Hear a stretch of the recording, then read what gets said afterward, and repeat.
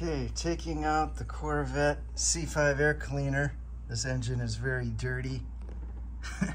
I'm going to get it washed soon. You take these two clips off, which were on here, one on each side.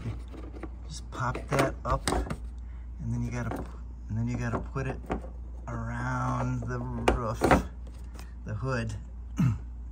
okay, now we can take it out.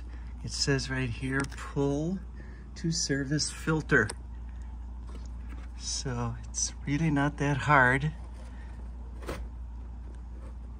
comes right out. The challenge is always putting it back. But uh, see how it comes out. It just slides up here and there's the filter. There really isn't, oh, good. It come out this far, look at that. It's still in the, it's still in the groove. So that's how you put it back in. There we go. We're just gonna have to get it in that slot again.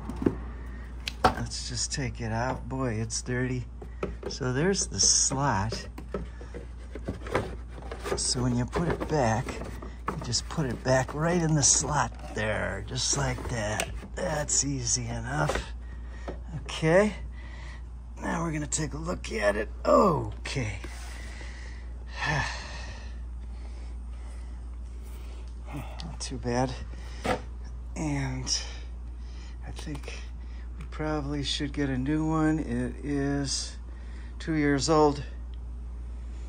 And since it seemed to be overheating with the air conditioning on, we're gonna get a new one.